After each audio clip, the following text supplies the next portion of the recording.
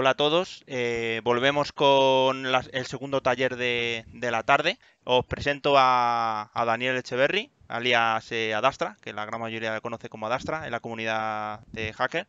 Y luego, bueno, Francisco Jesús Rodríguez, que la gran mayoría de vosotros le conocéis como, como Fran, ¿vale? Fran el cordobés. Eh, en este sentido, bueno, eh, son ambos, eh, es un auténtico placer tener a ambos en, el Congreso y más en la misma ponencia, que yo creo que es la segunda que, estáis juntos, ¿no? pues van a hablar sobre Open Source Intelligence, el rector. pues un fuerte, bueno, os doy paso y ya me, ya cierro micro. Venga. Muy bien, venga. ¿Empiezo yo, Dani, contando? Sí, sí, por supuesto, empieza tú. Gracias, Dani. Primero que nada, eh, agradecimiento a, a Ginsec y sobre todo a Iván Portillo ¿no? por permitirme estar en este congreso con, el que es para mí uno de los mayores referentes, ¿no? el rector, y creo que todos lo conocéis, eh, al gran compañero Adastra. Eh, agradecer también el apoyo institucional por parte del CCNCER, de Cyberwall y también de mis antiguos compañeros del Instituto Nacional de Ciberseguridad de España, el INCIBE.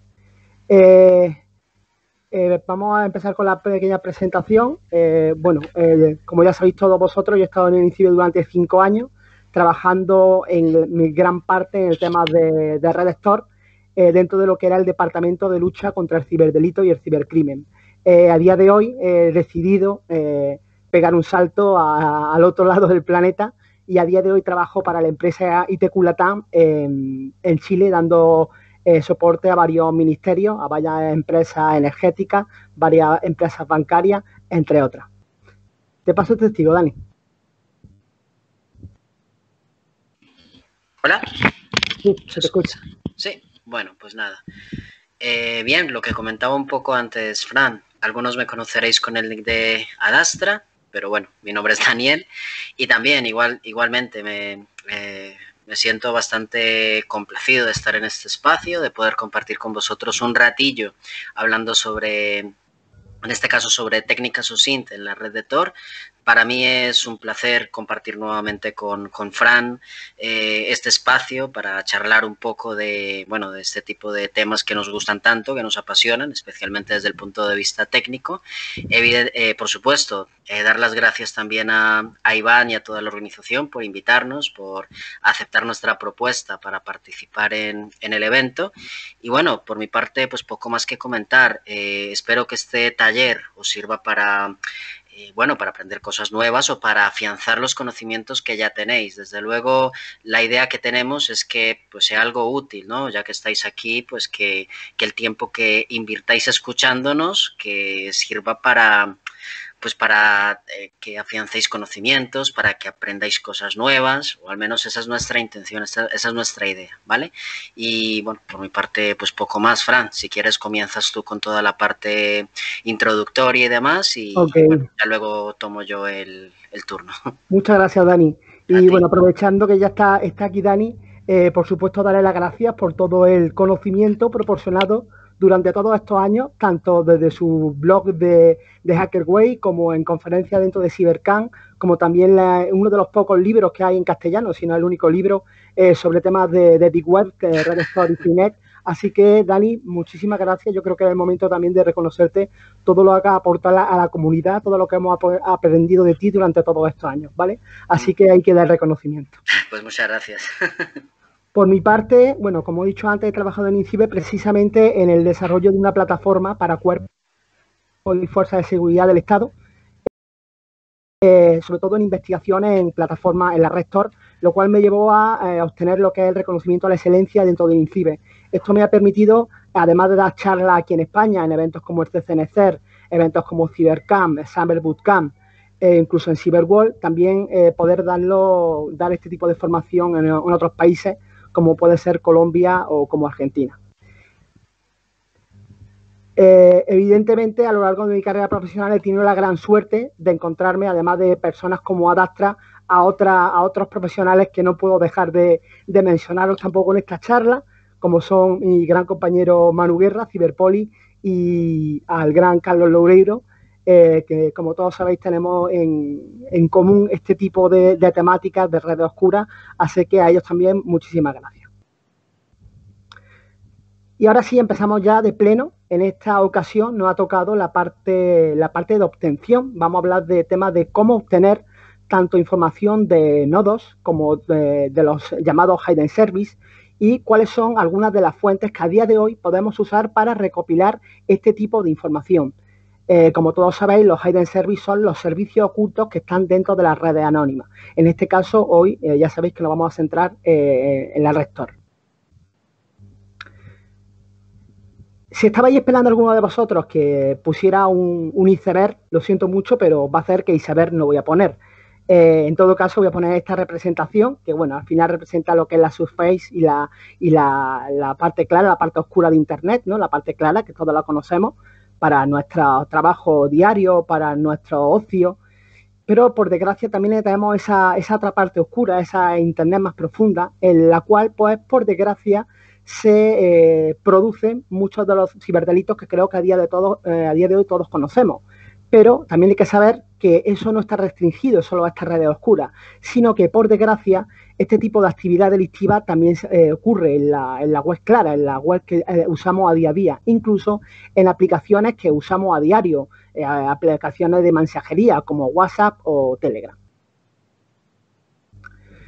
Primeramente vamos a hacer una distinción entre cuatro conceptos, el concepto de la Surface Web, el concepto de Deep Web, de Dark Web y lo que son las Darknet, ¿vale? Normalmente yo suelo representarlo con este grafiquito, ¿vale? Tenemos ahí la parte de la Surface Web, que como todos sabéis es la parte que está indexada por los principales buscadores.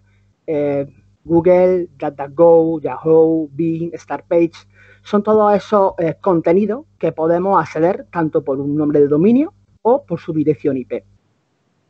Después tenemos eh, la parte de Big Web, Desgraciadamente, muchas veces cuando vemos en los medios de comunicación referirse a la Deep Web, siempre lo relacionan con actividad eh, delictiva y realmente no tiene por qué ser así. La Deep Web es aquella parte que no es accesible y que, eh, perdón, que, no está indexada por los buscadores, pero que se puede acceder. Por ejemplo, ¿qué sería Deep Web? El contenido de nuestro correo electrónico o nuestro correo electrónico corporativo o servicio en la nube como Drive o incluso la información que está dentro de las redes eh, corporativas.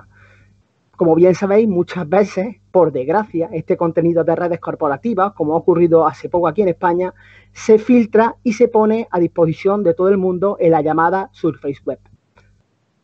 En tercer lugar, tenemos la llamada Dark Web, que es que está, eh, no, no está indexada a priori por los buscadores, aunque con excepciones, y que para acceder a ella hay que hacer uso de un cliente en concreto. En el caso de Tor, pues todos bien conocéis lo que es el Tor Browser, aunque no es la única forma de acceder. Este contenido web, la, este contenido web es el que se almacena dentro de las llamadas Darknet. Muy bien sabéis que la red Tor no es la única eh, eh, Darknet que existe. Tenemos otras como Freenet, como IOSP, como Seronet, para las cuales para acceder a ella hace falta pues, su cliente concreto. Pero aquí se da un punto. Eh, siempre hablamos de dark web y nos puede hacer llegar a pensar que en este tipo de redes solo hay contenido web, cuando realmente no es así. Aquí tenemos otro tipo de servicios que podemos encontrar, en este caso, en Rector. Temas de FTP, temas de SSH, servicios de IRC, servicios de SMTP y cualquier protocolo basado en TCP. Sin embargo, nunca hablamos de Dark FTP ni Dark SSH. Sin embargo, Dark Web siempre lo usamos.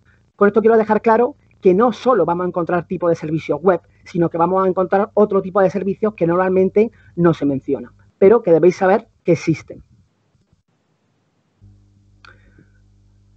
¿Qué nos proporciona redes como la Rector? Bueno, una cosa que no, no, siempre se suele decir es que nos proporciona privacidad y anonimato a la hora de, navegar. Esto puede ser muy útil eh, en determinados casos como para disidentes políticos, activistas por los derechos humanos, periodistas, confidentes o simplemente cualquier persona preocupada por su privacidad y su, y su anonimato. ¿Qué es lo que ocurre? Que los criminales, esto ya lo saben, y evidentemente usan esta privacidad y este anonimato para llevar a cabo sus actividades criminales. ¿Qué proporciona? ¿Qué les proporciona en este caso la rector? Bueno, una forma de dificultar la autoría del delito, ya que usan la propia infraestructura de la red para realizar sus actividades criminales y también para dificultar el origen de la actividad delictiva, en este caso desplegando servicios ocultos dentro de la propia red. Y por desgracia, estas actividades delictivas son por lo que más se conoce a la rector y creo que a día de hoy no hace falta decir qué tipo de actividades, explotación sexual, eh, venta de droga, venta de armas. Normalmente bien sabéis que muchas veces son estas eh, las temáticas que solemos conocer.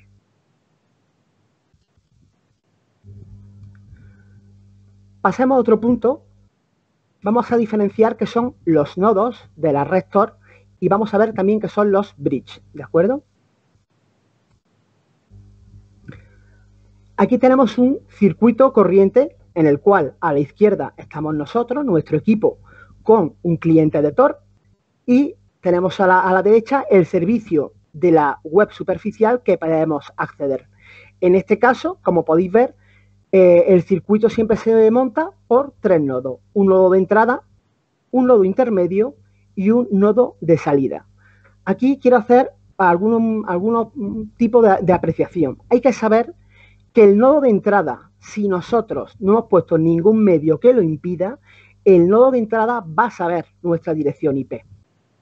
En el caso del nodo de salida hay que tener mucho cuidado porque desde el nodo de salida al destino al cual nos vamos a conectar la comunicación iría sin cifrar. Y esto es algo que tenéis que tener en cuenta, ¿de acuerdo?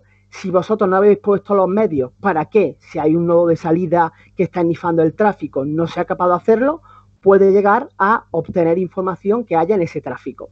¿De acuerdo? Así que esto es algo que tendréis que tener siempre en cuenta. Si no habéis puesto los medios, desde el nodo de salida al destino, la comunicación va sin cifrar.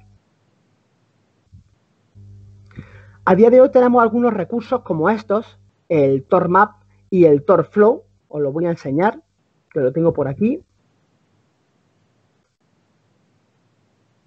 Vamos a ver dónde está, está aquí. Uno de los recursos que nos permite ver en un mapa mundial los nodos eh, a, nivel mundial, ¿de acuerdo? Aquí lo tenemos todos geoposicionados y lo bueno es que de cada uno de ellos podemos hacer clic y nos da información sobre cada uno de ellos. En este caso, nos está dando la dirección IP, el ancho de banda, las flags que tiene activada, ¿de acuerdo? Hay que tener en cuenta que los nodos de la red Tor, los nodos, no los hidden service, son públicos y las direcciones se publicitan, a diferencia de los bridge. Los bridge son nodos de la red Tor cuya dirección IP pues, no se publicita, sobre todo para aquellos países en los que se filtra las direcciones de la red para que no se puedan conectar. ¿vale? Esa es la diferencia al final entre un nodo y lo que es un bridge. Como veis, este es uno de los recursos que podemos usar para ver eh, cómo se sitúan cada uno de estos nodos. Otro de los, de los famosos eh, mapitas que tenemos es el TorFlow. Últimamente yo no lo suelo referenciar sobre todo porque la información está desactualizada. ¿vale? Y aunque visualmente es muy atractivo, como podéis aquí, creo que recopilaron datos hasta mayo de 2015, ¿vale? Pero bueno, aquí tenéis un poco que podéis ver cómo está distribuida en el último momento eh, eh, los que son los nodos a nivel mundial, ¿vale? Ahí lo tenéis.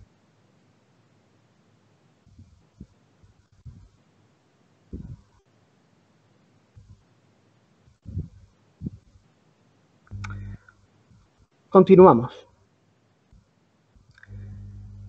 Con referencia a cada uno de los nodos, además de con el mapita que ya le habéis visto, eh, de, lo que es el proyecto Atlas, que se puede acceder a, través de la página del Tor Project, nos da también información de cada uno de los nodos disponibles e información relacionada, similar a la de antes, ¿vale? Los flags que tienen activados, cuáles son sus direcciones IP, eh, el tiempo que llevan activos, ¿vale? Información bastante relevante de cada uno de estos nodos.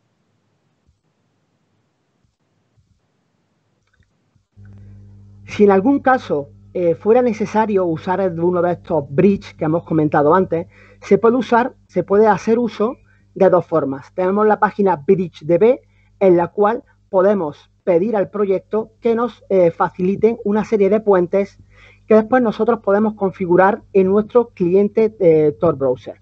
O también se puede hacer a día de hoy ya directamente desde el propio Tor Browser haciendo una configuración de este tipo que veis aquí. ¿vale? Directamente lo que hacemos es o le solicitamos al proyecto que nos dé una serie de nodos o directamente podemos pegar aquí los nodos que hayamos obtenido de páginas como BridgeDB. Directamente esa comunicación, el primer nodo que usaría sería un nodo bridge. Como digo, en el caso de que tengamos problemas para acceder al rector, en el caso de que sea a lo mejor un país que no permite hacer uso de la red. Además, hay que tener en cuenta que esta comunicación eh, va ofuscada, lo cual hace creer, en este caso, al proveedor de servicio, que esa comunicación no es una comunicación de, la rector, sino que es, eh, hace como una simulación de otro tipo de protocolo.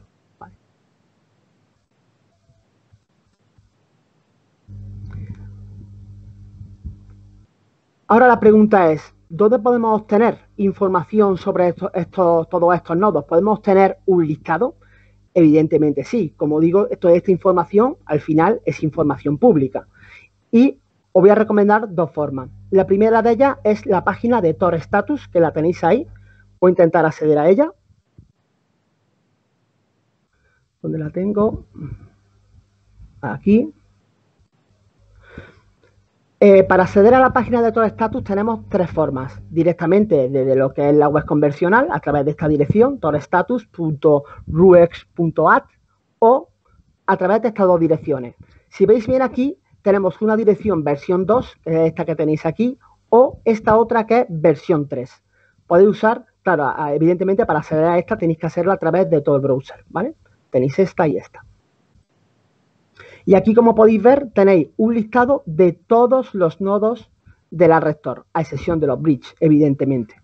Al final de toda la lista, incluso podemos hacer eh, búsqueda específica, bastante interesante. Lo tenemos, no está, nos lo han quitado aquí, se, le da arriba, antes sí estaba arriba, ahora ya no. Vamos a ver dónde está, aquí, creo que era aquí, Advanced, aquí lo tenemos, ¿vale? Podemos hacer búsquedas de este tipo, ¿vale? Por diferentes flags, ah, ordenados por, por temas del, nombre del router, ¿vale? Todo esto lo podemos hacer desde aquí. Bien. Si quisiéramos descargar esta lista en local para nosotros tratarla, tenemos estas opciones, ¿vale? Tenemos aquí eh, descargar el listado completo o descargar el listado solo de los nodos de salida. Aquí tenemos las dos opciones, ¿vale? Directamente simplemente pulsar y ya tenemos la lista descargada en nuestro equipo, la cual pues podemos trabajar con ella para cualquier tipo de investigación que nos pueda surgir. Bien. Ahora, es necesario hacer uso, eh, es necesario hacer uso de esta, de esta, de esta plataforma web. Pues no siempre. Eh, me están diciendo por el chat que no se ve, que no se ve lo que estoy haciendo. ¿Se está viendo o no? Yo sí lo veo. No hay problema, ¿no? Mm, sí, yo veo tu pantalla, pero... Vale, pues entonces seguimos. Vale, gracias, gracias Dani. Nada. Como digo, eh, hay otra forma de acceder a esta información y no hace falta usar ni siquiera eh, esta página web. Tenéis que saber que en el momento que vosotros instaláis eh, una instancia o arrancáis una instancia de Tor en vuestro equipo, este listado ya lo vais a tener en vuestro equipo. Y es de la siguiente manera. Si nos vamos a una consola, Mirad esto. Tenemos este fichero. Eh, puede haber dos rutas. Eh, la barra, eh, barra home, barra el usuario, punto tor o barra bar, barra lib, tor. ¿Vale? Esas son las dos rutas que podemos tener. En este caso, el fichero que tiene esa lista es el fichero microdex. ¿Vale? Que lo tenemos aquí. El de los cat. A ver es consensus, cachet, microdesk, consensus, ¿vale? Aquí tenemos la lista.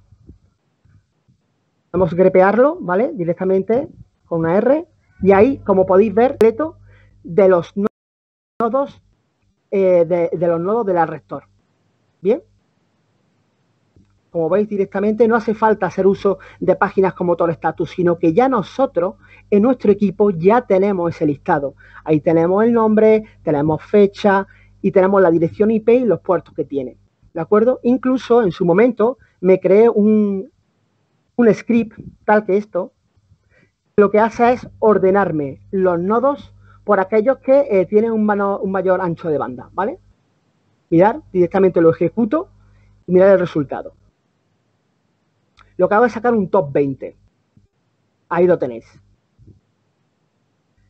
Es bastante curioso, si le echáis un vistazo, que en el top 20 prácticamente todos son Francia, Alemania, Alemania y United Kingdom.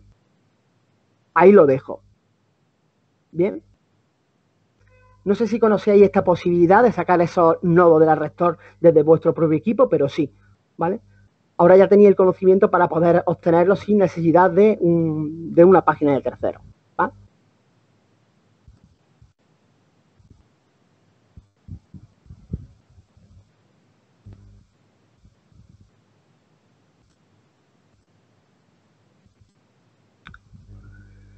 Una de las páginas más importantes del, Tor Project es la, propia página de, que nos ofrece las la propias métricas de la propia Rector, en la cual podremos obtener muchísima, muchísima información. En este caso, la página, si no la conocíais, es la página de Tor Metrics y ahora le vamos a dar un repaso a qué tipo de información es la que podemos obtener de esta página. Vuelvo a la consolita, al torno, a ver si está aquí. Bien, Aquí tenemos la página de Tormetrics.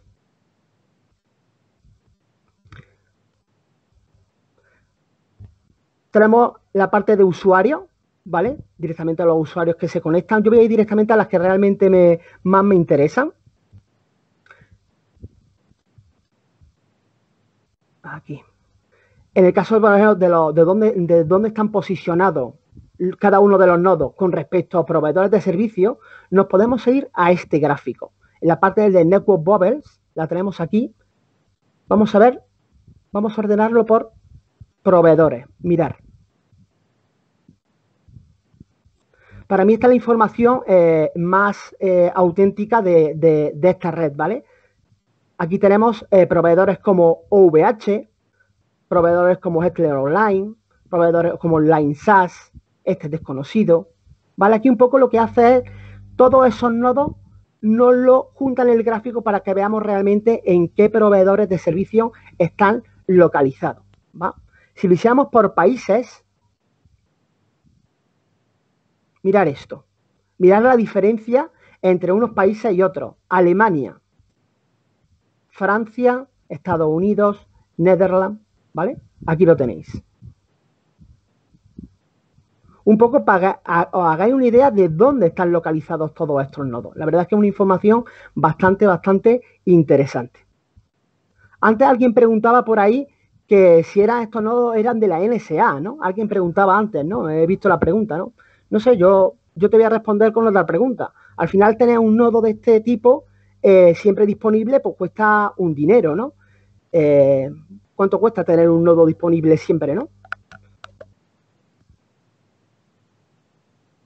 ¿Aparece España? Pues creo que no, porque en España realmente tenemos, creo que tenemos bastantes pocos. Ah, no, pues mira, sí, aquí tienes España. Aquí tienes España. ¿Vale?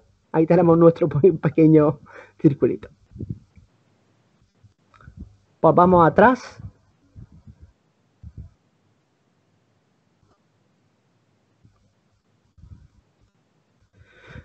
Hay uno que me, resulta bastante interesante y es este, ¿no? Muchas veces cuando, cuando se habla del tamaño de, la rector, de los servicios, de los hidden service, aquí tenemos este gráfico, lo voy a poner eh, para que sea desde el inicio de este año, desde, desde enero, ¿vale? Vamos a poner el 01 hasta la fecha de hoy.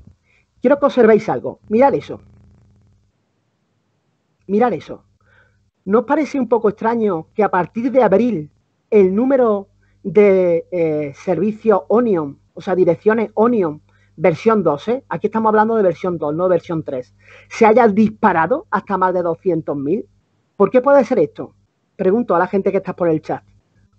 ¿Por qué durante, a partir de abril se ha disparado el número de, de dominios.onion disponibles? ¿Alguien me puede responder a eso? pandemia, alert, fraude, confinamiento, pandemia, confinamiento, cuarentena. Realmente la, mm, eh, no, ahora mismo no, no, he investigado mm, la causa real, pero sí, posiblemente pueda ser realmente por eso, por el tema del COVID, de la cuarentena. Aunque ya digo que ahora mismo no, no tengo ninguna evidencia, pero eh, sí se podría relacionar con, esto, ¿no? ¿Por qué, de repente ha crecido el número eh, realmente doble, ¿no? Había casi 100.000, más de 200.000, la verdad es que es bastante, bastante bárbaro, ¿no? aquí hay que tener en cuenta una cosa, este gráfico, como he dicho, muestra solo los Onion de la versión 2, pero no contempla lo de la versión 3. ¿De acuerdo? O sea, hay muchísimos más, muchísimas más direcciones Onion. También hay que tener en cuenta otra cosa. Una dirección Onion puede tener varios servicios y eso lo tenéis que tener en cuenta. Puede tener varios servicios. Aquí no habla de servicios, aquí no habla de direcciones. Por lo tanto, el número realmente de servicios expuestos pues eh, se puede disparar con respecto a esta gráfica. Y eso es algo que, bueno, que, quiero dejarlo bien remarcado, ¿vale? Como veis, eh, tiene una página muy, muy interesante para sacar todos los datos referentes a la, propia, a la propia Rector. Para mí es la, fuente eh, más fiable que tenemos a día de hoy. Continuamos con la presentación. Dejamos el tema de Tormetrics atrás. Y vamos ya directamente a hablar de los, propios servicios ocultos, de los llamados hidden service, esos servicios que están dentro de la propia eh, Rector. Este gráfico, un poco haciendo referencia a palabras de, Dani Adastra, él siempre habla de temas de las redes eh, in proxy o, proxy. En este caso, la Rector eh, es una red tanto in proxy como proxy. Ya hemos dicho antes que mediante la propia infraestructura de la Rector podemos usar tres nodos para conectarnos a un servicio que está en la web superficial.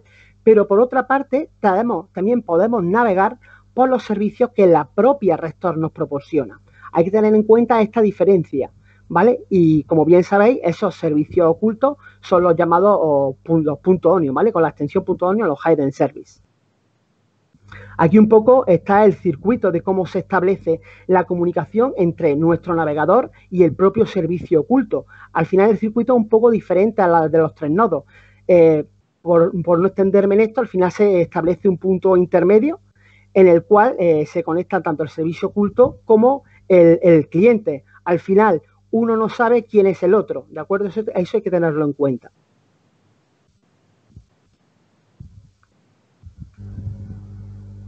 Y ya también lo hemos dicho antes, que no solo hay servicios HTTP o HTTPS, sino que tenemos muchos más.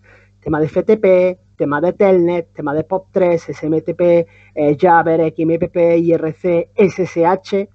Eh, por desgracia, hubo un tiempo que había bastantes servidores de, SSH, incluso servidores de SSH mal configurados, que muchas veces llevaban incluso a la propia desanonimización del servicio ese es otro tema que nos vamos a tocar, pero eh, también hay que tener en cuenta que al final un servicio mal configurado puede llevar a la desanonimización del servicio, o sea, a la obtención de la IP real donde este servicio está almacenado. Eh, no es algo muy frecuente, pero algo que puede ocurrir, evidentemente puede ocurrir, ¿vale? Fue justamente el año 2015 cuando la ICANN eh, proporcionó el TLD eh, de uso especial eh, .onion al, al, Tor Project. Ahí abajo tenéis las dos direcciones, la primera una V3, como veis ahí, 56 caracteres, y la segunda una dirección V2, eh, números de 2 al 7 y letras de la A a, la Z, que es como se forman este, este tipo de direcciones.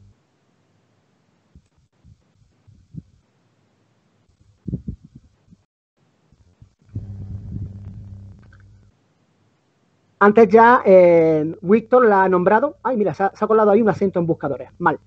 Eh, antes ya Víctor la ha nombrado. Diferentes formas de acceder a la, Rector. Bueno, tenemos distribuciones como Tiles o como Unix. Podemos también hacer uso del propio Tor Browser, que es la forma más común, aunque no la única. Hay otra forma que es torificando la propia máquina. Podemos torificar la máquina completa para que cualquier comunicación TCP vaya a través de esta, de, esta, de esta conexión, a través del rector.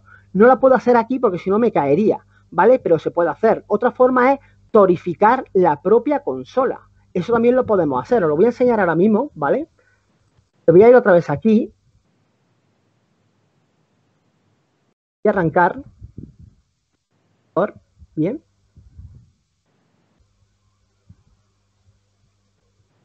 Mirad esto. Sería tan sencillo como hacer esto. Ah, se me ha cerrado.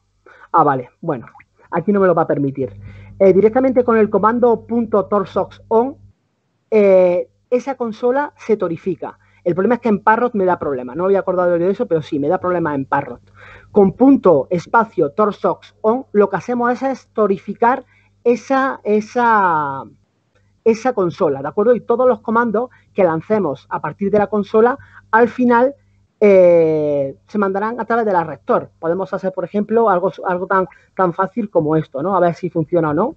Hacemos un torsox eh, cool eh, ipinfo.io, a ver si nos da un error. Mirar.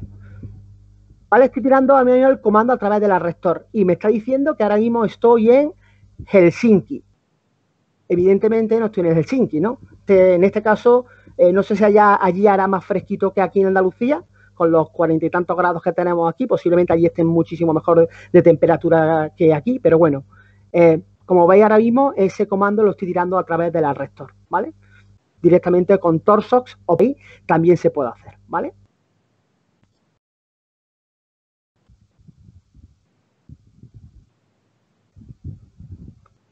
Otra forma de acceder es a través de los llamados Tor2Web. Al final no dejan de ser proxies a la propia rector. Eh, evidentemente, este tipo de proxies no proporcionan ni privacidad ni anonimato. Eso lo tenéis que tener en cuenta. Y al final, eh, si le proporcionáis una dirección a, esta, a estas plataformas, realmente le estáis dando a ellos la dirección a los que vaya a conectar y también vuestra propia dirección, dirección IP, ¿vale? Y por último, buscadores específicos, algunos de los cuales vamos a ver, vamos a ver a continuación. Vamos a ver algunas fuentes de eh, algunas fuentes de donde obtener dominios.onio, ¿vale? Al final, en cualquiera de estas investigaciones, primero tenemos que elegir cuáles van a ser las fuentes de obtención y eh, después, pues directamente eh, extraerlas, escapearlas, bajarnos en un fichero, como antes hemos visto, un fichero a lo mejor CSV, un fichero JSON, ya dependerá, ¿vale? La primera que he querido poner es esta. Es un servicio bastante interesante pero por desgracia, eh, ayer cuando fui a probarlo, Freshonion estaba caído. No solo proporciona direcciones.onion, sino que también proporciona otra información del propio dominio, como eh, si esa, esa máquina tiene puertos abiertos o si tiene eh, correo electrónico, direcciones de Bitcoin. La verdad es que es un servicio bastante, bastante interesante. Pero como digo, ayer, por lo menos ayer, este servicio estaba caído. No sé si se volverá a levantar, no sé si no. Hay que tener en cuenta que muchas veces las fuentes que tenemos en la Rector duran bastante poco, son bastante volátiles. Y este es un caso, es uno de, los casos. Por desgracia, como digo, pues no sé si volverá o no, espero que sí, porque la verdad es una muy buena fuente. Después, bueno, tenemos al lado eh, Daniel Hosting. Eh, Daniel Hosting ya lo tumbaron hace unos años y este año también la han vuelto a tumbar no solo han tumbado, sino que al final han filtrado la, base de datos, ¿no? Al final Daniel Hosting también eh, permitía lo que es la creación de, de Hidden Service desde su propia plataforma. Pero por desgracia, eh, aunque la página a día de hoy existe, eh, parece ser que no sé si el, autor ya ha quedado bastante descontento y no parece que nos va a volver a dar este servicio. Por ahora, pues, pues no podemos tener tampoco direcciones Onion de esta plataforma. Ha habido otros servicios también eh, bastante interesantes como Ichida, no sé si os suena, o Onion Investigator, que eran una, una bueno, similares, por decirlo de alguna forma, a Shodan, mucho menos potente, evidentemente, que lo que hacía era escanear estos servicios, escanear puertos, sacar banners, sacar, eh, sacar toda la información realmente que, se podía obtener y era bastante visual y bastante atractivo. Pero eh, también esos dos servicios pues duraron bastante poco tiempo y se tumbaron. A día de hoy no conozco nada similar a eso.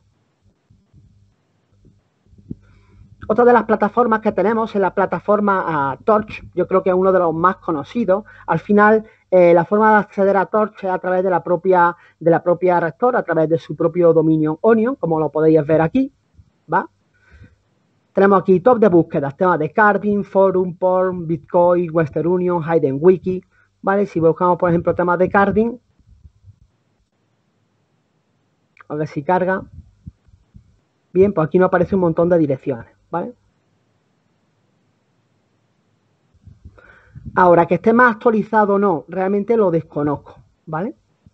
Pero bueno, al final es uno de los recursos que se pueden usar dentro del lector para la obtención de, de estas direcciones .onion. ¿Qué más tenemos? Amnia. Amnia es realmente uno de los, de los, más clásicos, uno de los más conocidos. Amnia tiene un apartado incluso desde el cual nos proporciona, el, no sé si el listado completo de los Onion, pero sí una gran parte de ellos. Eh, os lo voy a enseñar, lo tengo por aquí. ¿Dónde está Amnia? Vamos a ver. Aquí, mirar. Dentro de esta ruta, lo podéis ver ahí, nos proporciona este grandísimo listado de direcciones Onion. Por desgracia, eh, como podéis ver, los primeros resultados hacen referencia a temas de, pornografía y en este caso incluso a subdominios relacionados con temas de pornografía, ¿vale? Aunque se supone que ellos este tipo de, enlaces lo eliminan, pero aquí, eh, por desgracia, vemos que no. Y como veis aquí, bueno, el listado es eh, tremendamente grande. Directamente le hacemos un www, un Google nos descargamos toda la información y aquí tenemos direcciones Onion un poco para, para aburrir. Esta es una de, las fuentes más interesantes para descargar precisamente eh, direcciones eh.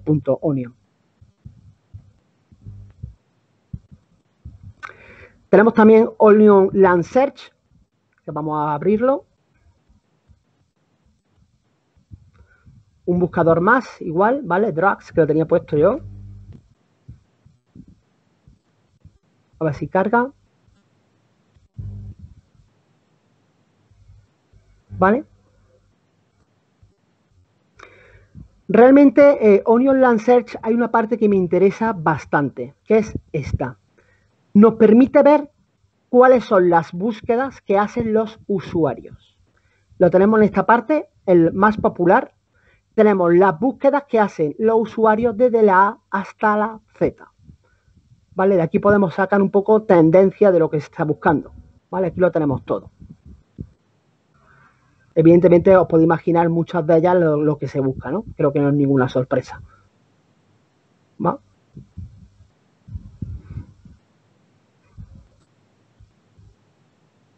De este tipo de, buscadores creo que es el único que proporciona, que proporciona este tipo de información, ¿vale? Como digo, al final eh, se pueden sacar las tendencias de las búsquedas dentro de la red. Este otro que no lo conocía, ¿vale? Que es Bullmask. No sé si a vosotros este apareció el otro día, le estuve echando un ojo. A ver si lo tengo por aquí, Bullmask. Bullmask. Es este, ¿vale? Aquí lo tenéis, ¿vale? Igual, ¿vale? Eh, dark Market, por ejemplo. Aunque aquí, como veis, los resultados eh, no son demasiado finos. Nos da aquí otros resultados, incluso nos da con, temas de Web. Aquí tenemos el punto .li, por ejemplo. Punto .li, ¿vale? Los resultados, bueno, no son muy finos. Pero simplemente como que tengáis otro, otro, otra zona de búsqueda más. Después también tenemos Dark Search. Eh, interesante de Dark Search, que nos proporciona una API para hacer la búsqueda. Lo tengo aquí. La diferencia el tema de la API, que si no me equivoco está por aquí. Vamos a ver dónde está el tema de la API. Pues no lo veo ahora bien. Aquí, ¿vale? Aquí está. Directamente podríamos hacer la consulta de este tipo, ¿vale? Barra API barra search hacemos la consulta y el, número de la página que queremos sacar directamente, ¿vale? Sería esto. Podemos lanzarlo directamente, como digo, desde la propia, desde la propia consola, ¿va? Vamos a poder, vamos a intentar hacer una búsqueda. darksearch.io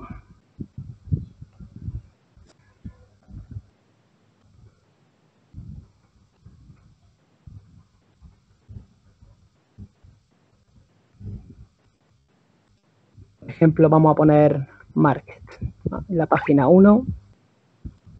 Vamos a hacer un JQ para que nos dé el resultado. Me ha dado un error. Ah, bueno, HTTPS.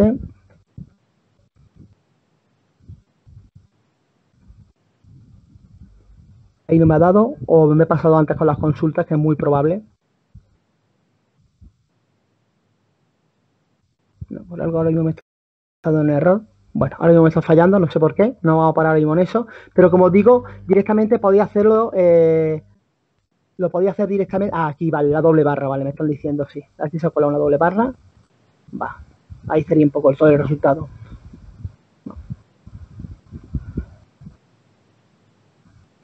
¿Veis? Ahora me lo da. Bueno, me lo está dando. ¿Ok?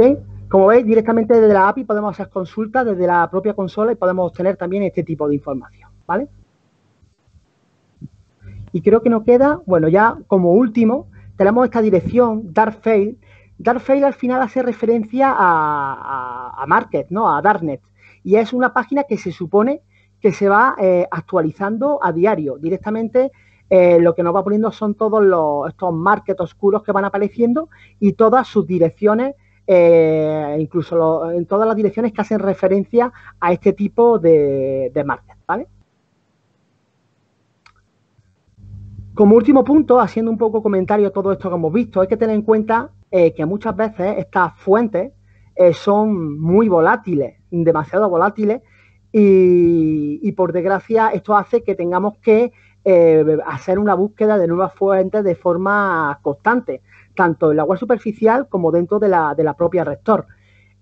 Otra cosa que tener en cuenta es que no siempre estas fuentes se actualizan. Es otra cosa que es bastante importante. ¿Vale? Eh, cuando usemos algún tipo de este servicio, que de alguna forma comprobemos que ellos mismos eh, renuevan esa, búsqueda, ese descubrimiento de nuevas direcciones Onion. Eh, ninguna fuente tiene indexados todos los activos Onion, eso es más que evidente. Y un último punto para mí bastante importante es que existen direcciones Onion que son difícilmente identificables. Hay algunas direcciones Onion que se llaman Steelheim Service, en las cuales para tener acceso a ese tipo de direcciones Onion hace falta configurar tu cliente con un token concreto. Si no tienes ese token concreto, difícilmente puedas llegar a este tipo de eh, dirección. ¿Vale? Y bueno, con esta parte eh, ya os paso directamente con Dani Adastra, que ahora tocará un poco de cómo extraer información de muchas de estas fuentes que hemos, que hemos tratado. Muchas gracias. Dani, te toca.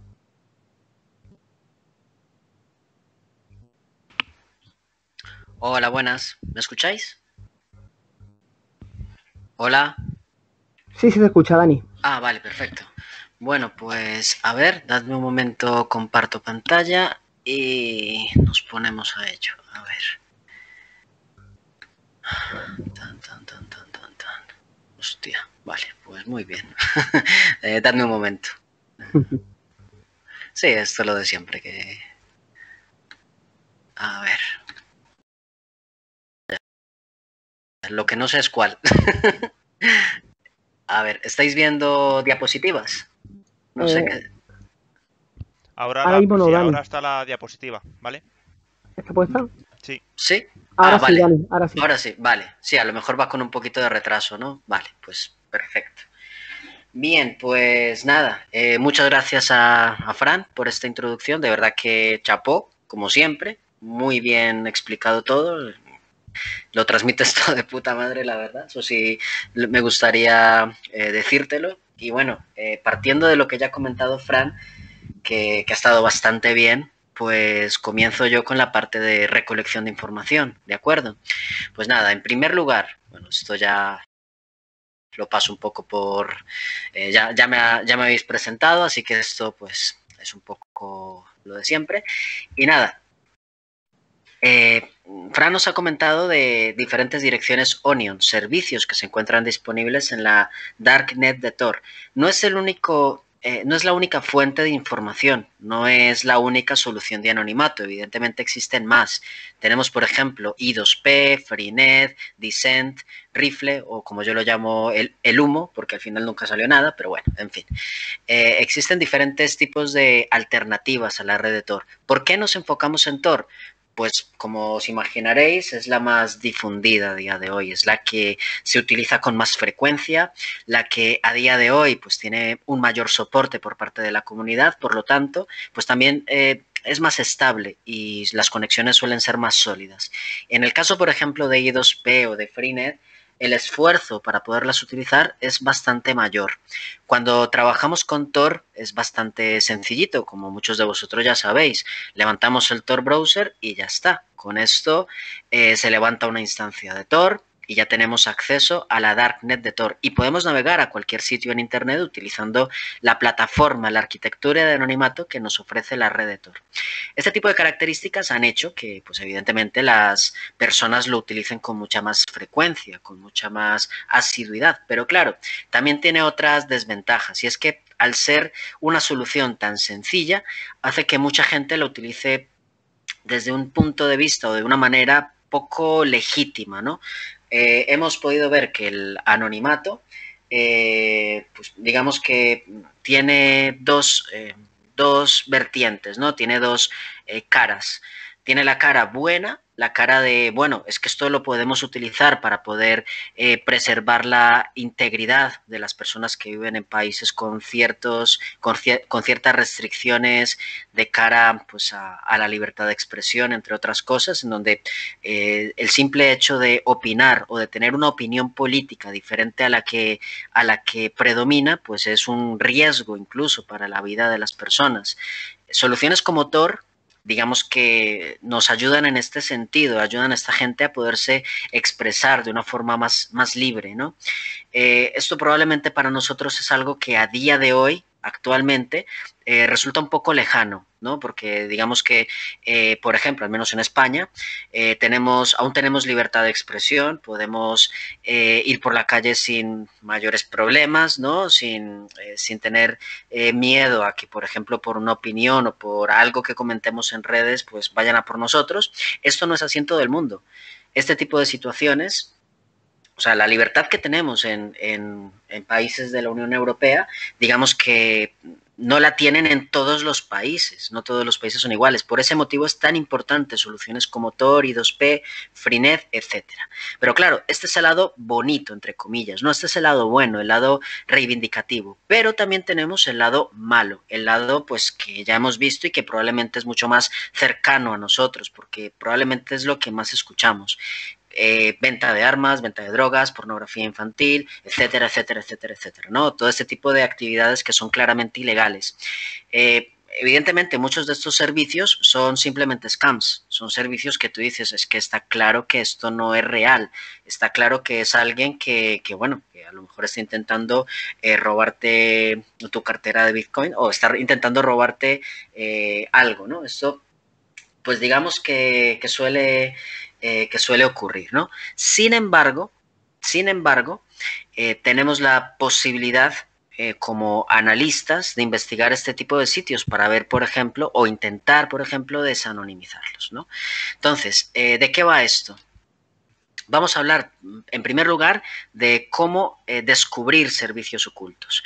Partimos de la base que nos ha enseñado antes Fran. Fran nos ha comentado, nos ha hablado de una serie de servicios ocultos que nos sirven para recopilar un conjunto de direcciones Onion. Una serie de servicios ocultos que nos permiten buscar, ¿vale? Hablamos de AMIA, de Onion Land Search, de darksearch.io, ¿vale? Un montón de buscadores que están disponibles en la Darknet de Tor, ¿vale? Eh, ¿Qué ventaja tiene esto? Pues que evidentemente podemos automatizar los accesos a este tipo de servicios. Eh, a lo mejor me adelanto un poquito, pero también lo voy comentando. Cuando hablamos de automatizar los accesos, me refiero a crear, por ejemplo, programas en un lenguaje de programación como puede ser Ruby o Python, conectarnos al proxy socks de Tor que se levanta pues, directamente con el Tor browser y posteriormente realizar peticiones HTTP para ir recolectando datos. ¿De acuerdo?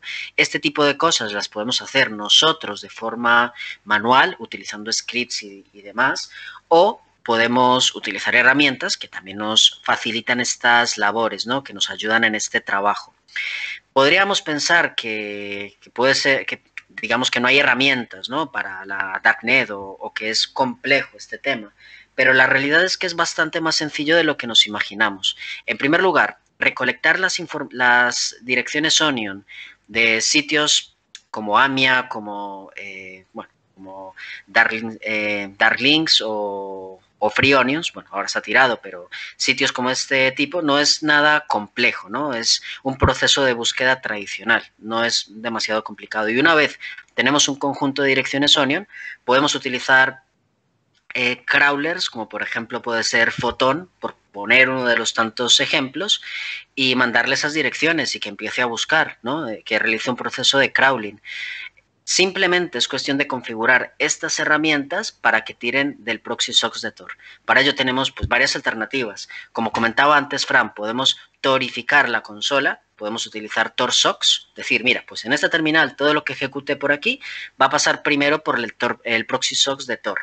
O puedo crear un túnel con SOCAT, que esa es otra alternativa perfectamente válida.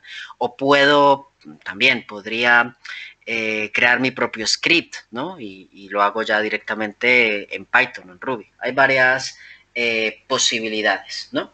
Entonces, esto lo podemos hacer con Python, que veremos un poquito más adelante a modo de ejemplo. Entonces, ¿de qué manera puedo descubrir servicios ocultos? Primero, ¿por dónde empiezo? Estos son algunos de los servicios que tenemos disponibles. Tenemos Dark Links, tenemos Tor Links, eh, Dark Web Links, HD Wiki, OnionDir. Estos son solamente unos poquitos, ¿vale? Porque existen bastantes más, la verdad. Existen, pues, algunos servicios que, eh, que son más completos, ¿vale? Y bueno, en principio, ¿qué necesitamos hacer? Búsquedas específicas, ¿de acuerdo? Es decir, tenemos una serie de, eh, digamos, fuentes de información, que son estos buscadores.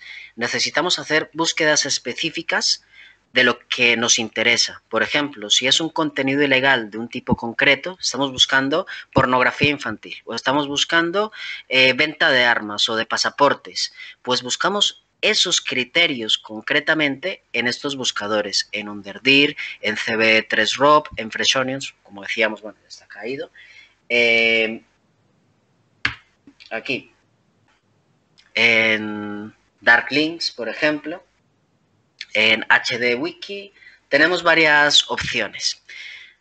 Cuanto más específicas sean las búsquedas, pues evidentemente los resultados van a ser mejores. Y estas, estos resultados serán direcciones Onion que nos van a servir en nuestro proceso. Cuantas más direcciones recopilemos, pues mejor, porque luego podremos ver cuáles de estas direcciones se encuentran activas, cuáles no, y evidentemente las que se encuentran activas serán las que nos interesen. Como comentaba antes Fran, antes de terminar, las direcciones Onion o los servicios en la Deep Web de Tor, la Darknet de Tor, son volátiles. ¿Esto qué significa? Que, bueno, básicamente que hoy puedo levantar un servicio y mañana lo puedo tirar sin ningún problema la dirección Onion sigue siendo válida, pero el servicio ya no va a estar disponible. ¿Vale? Esto me permite varias cosas. La primera, poder mover el servicio en diferentes máquinas físicas, conservando la misma dirección Onion. Es decir, yo levanto mi instancia de Tor en esta máquina que tengo aquí. Perfecto, se queda ejecutándose.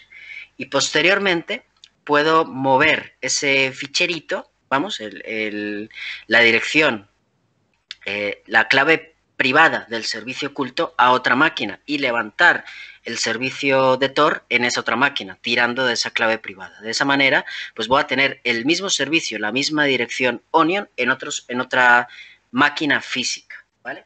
Por ejemplo, a ver, esperadme un momento. Supongo que aquí se ve, supongo.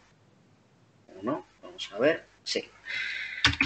Aquí, voy a levantar el, Tor Browser. Para que lo veamos de una forma un poco más visual, más, más gráfica con el ejemplo. ¿vale? Vale, pues yo aquí tengo Tor levantado, el Tor Browser. Esto significa que también voy a tener un proxy socks de Tor. ¿Cómo lo puedo ver?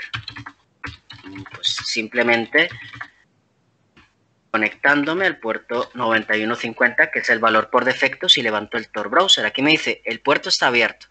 La conexión se ha establecido eh, correctamente. El puerto 9050 también está abierto, pero en este caso es de una instancia que tengo en local, ¿vale? De una instancia que tengo levantada en este, en este sistema.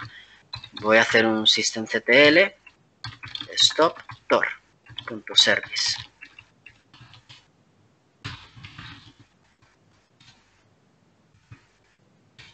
Ahora, bueno, ya no está. Solamente tengo el 9150. Vale, hasta aquí todo bien. Tengo el servicio eh, levantado, la instancia de Tor. ¿Qué puedo hacer a continuación? Por ejemplo, crear un servicio oculto. Son dos líneas en el fichero torrc, como vais a ver ahora mismo. Lo que no me... A ver, torrc está en esta ruta, ¿vale?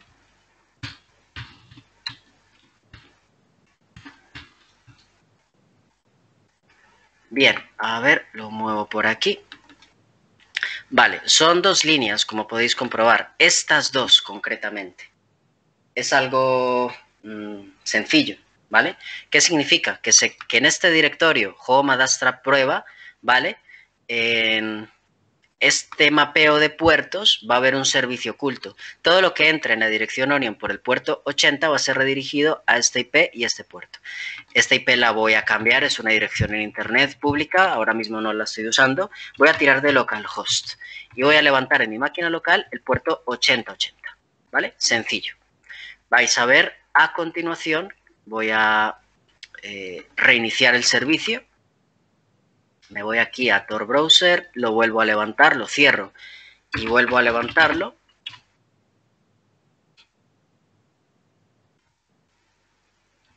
¿Vale? Y compruebo en el directorio home, adastra, prueba. Aquí se ha creado una serie de ficheros. Bueno, primero, tenemos el hostname, se acaba de crear ahora. El hostname ¿Qué tiene? La dirección onion. Es muy simple. Hostname. Tiene esta dirección onion que utiliza el protocolo de Tor versión 3. Por eso la dirección es más larga, tiene 52 caracteres concretamente. ¿Vale? Entonces, con esto, ¿yo qué puedo hacer? Pues nada, simplemente eh, si voy al navegador e introduzco esta dirección onion, ahora mismo no va a pasar nada. ¿Por qué motivo? Pues porque aquí, en este puerto, en el 8080, ahora mismo no tengo nada levantado. ¿Qué puedo hacer? Vale, como esto es algo muy sencillo, muy... Vamos, para que sea rápido y fácil, para que lo entendáis todos, levanto el puerto 8080 en esta máquina, perdón. ¿Vale? Ahora mismo el puerto 8080 va a estar disponible. Este mapeo de puertos, ¿qué significa? Todo lo que entre en la dirección onion por el puerto 80, eh, por el puerto 80 va a ser redirigido a lo que tengo en mi máquina local en el puerto 8080, ¿vale? Es así de simple. Así de simple se levanta un servicio oculto. Evidentemente, en el, en un mundo, en el mundo real, entre comillas, sustituiría este servicio Python, ¿vale? Que es simplemente un servidor, un módulo HTTP server, lo sustituiría por algo más serio, ¿vale? Por otra cosa. También tendría en cuenta que puedo poner el puerto 80, pero puedo sustituirlo por cualquier otro. Esto me podría facilitar las cosas a la hora de ocultar esta dirección Onion. Pensad que, por ejemplo, esta dirección no va a estar disponible para nadie más, solamente para aquellos que eh, a los que yo la con, los que yo la comparta. Esta dirección Onion solamente va a estar disponible para aquellos que puedan acceder a ella a los que yo les pase esta dirección. Si nos fijamos, entro aquí, espero un poquito y me aparece eso. Aquí me llega la petición, ¿vale? Todos están rotando por la dirección, eh, por la red de Tor. Y fijaros que aparece el circuito. Este circuito es el repetidor, el, bueno, lo que viene a ser la entrada. Y estos tres repetidores que ponen aquí corresponden al lado anónimo del servicio, utilizando lo que se conoce como el protocolo Rendes Point. En Tor, cuando estamos hablando del modo in proxy, hay siempre seis nodos involucrados, de los cuales conozco tres y los otros tres para mí son desconocidos. Por eso aquí, aquí me aparece repetidor, repetidor, repetidor. No tengo ni la más idea de cuáles son esos repetidores, porque en principio eh, son nodos que ha construido el servicio oculto. Para no entrar en muchos detalles, aquí se utiliza lo que decía, un protocolo llamado Rendes Bows Point, en donde hay un punto de encuentro que yo, eh, bueno, de entrada es el que, el que utilizo para poder establecer esta comunicación de modo bidireccional entre seis nodos, ¿vale? Si os suena interesante esto, os recomiendo que le echéis un vistazo a la documentación oficial, Rendes Bows Point, como suena en francés, ¿vale? Bien, pues aquí, por ejemplo, yo tengo esto, tengo la dirección onion levantada, ¿vale? Y en cualquier momento, si yo, por ejemplo, digo, mira, pues tiro el servicio, pues la dirección onion seguirá estando activa realmente pero ya no voy a tener acceso a ese servicio. Simplemente porque en el puerto 8080 ya no hay nada. Vamos, ya no hay ningún proceso activo, pero la dirección Onion sigue estando activa. Ahora, ¿qué significa esto? Lo que os comentaba antes. Para que yo pueda mover esto a otra máquina, solamente necesito el factor privado. Este ficherito de aquí. Este ficherito representa la clave privada de mi servicio oculto.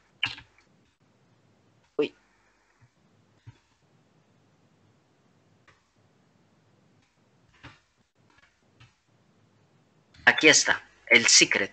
Si yo me llevo esto a otra máquina, puedo hacer la misma configuración, aplicar la misma configuración y posteriormente esta dirección Onion volverá a estar disponible. ¿Qué es lo que hacen muchos grupos de ciberdelincuentes cuando utilizan Tor? Pues comparten estas direcciones Onion en un grupo reducido. Evidentemente no lo van eh, publicitando por ahí en servicios de búsqueda. Simplemente lo comparten entre ellos para poder pues, transferir información de forma confidencial, de forma anónima y bueno, eh, dejando los menores, la menor cantidad de rastros posibles, aunque depende un poco también de la persona que esté detrás haciendo esto. Muchas personas confunden privacidad con seguridad y no es lo mismo. Cuando hablamos de privacidad, eso nos lo puede proveer Tor, pero no seguridad. Si yo, por ejemplo, aquí despliego un servicio con vulnerabilidades, despliego un WordPress, una versión antigua, ese servicio oculto, vale, está en la red de Tor, pero sigue teniendo vulnerabilidades y alguien podría atacarlo. ¿De acuerdo? Eso eh, hay, que tenerlo, hay que tenerlo muy en cuenta, ¿vale? Ahora bien, eh, bueno, esto yo creo que más o menos ha quedado claro. Lo que os comentaba, hay una serie de puntos introductorios o puntos de entrada. Por ejemplo, tenemos un DERDIR, tenemos eh, C3ROB, por ejemplo, un DERDIR. Esos puntos introductorios son, vamos, son algunos de los que ya comentaba antes Fran. Se me ha ido, perdonad. A ver.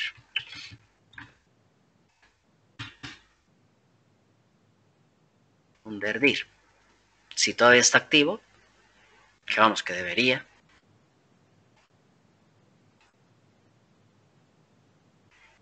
Esperamos un poquito.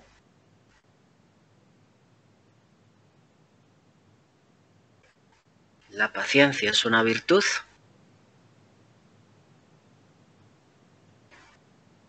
Esperamos. Bueno, esto también es algo bastante habitual en el mundo Tor. Hay que tener bastante paciencia. En ocasiones, pues pasa esto, que se queda la conexión bastante pillada y luego a ver si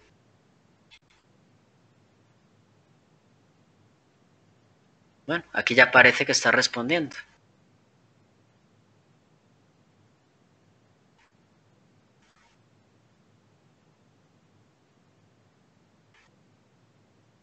Venga. Hola. Sí, hoy está tardando bastante. Al menos ya me ha cargado lo que pone el título. UDE, Underdir. Bueno.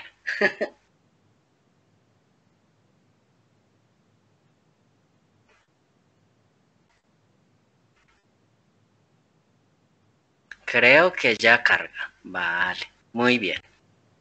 Venga, ánimo, campeón, tú puedes. Bien, pues nada, aquí vemos un buscador. Este es, vamos, es uno de los tantos servicios de búsqueda disponibles en la red de Tor. Aquí no tenemos un Google. Aquí, a diferencia de, la web clara, eh, no tenemos, eh, no tenemos digamos, buscadores tan potentes o que indexen todo lo que se mueva en la Darknet de Tor. Esto no existe. De hecho, para que estos servicios tengan sentido, requieren de la intervención por parte de los usuarios, es decir, de gente que levanta servicios de Tor y expone su dirección Onion, que la comparte con otros servicios. Por ejemplo, se van a Fresh Onions o se iban a Fresh Onions y registran su dirección Onion y le ponen una descripción y palabras clave para la búsqueda. Eso es lo que se suele hacer en este tipo de servicios. Compartir tu dirección Onion en la mayor cantidad de buscadores para que se pueda encontrar por parte de, otros usuarios. Y evidentemente, si, por ejemplo, estás realizando actividades ilegales, pues, por ejemplo, markets, lo que te interesa es ganar clientes, por lo tanto lo que harás será distribuir tu dirección Onion en cuantos más servicios mejor, ¿de acuerdo? Y eso es lo que, bueno, eh, intentamos buscar en este caso concreto.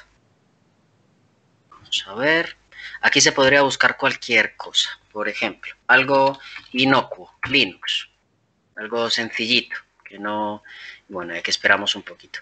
Esto lo que, va, lo que va a hacer es buscar, bueno, ha ido bastante más rápido. Va a buscar con el parámetro search en este caso. Search igual a Linux. Y bueno, me devuelve los resultados. Hasta aquí no hay nada del otro mundo. Fijaros que en la medida en la que me voy moviendo por las diferentes páginas, me tengo que fijar en la petición HTTP que se está realizando. En este caso, la petición como tal, lo único que cambia es el parámetro page. ¿Vale? Es decir, cambia un poquito la, petición. Al menos me estoy fijando ahora mismo solamente en la petición get. Bueno, a ver si carga.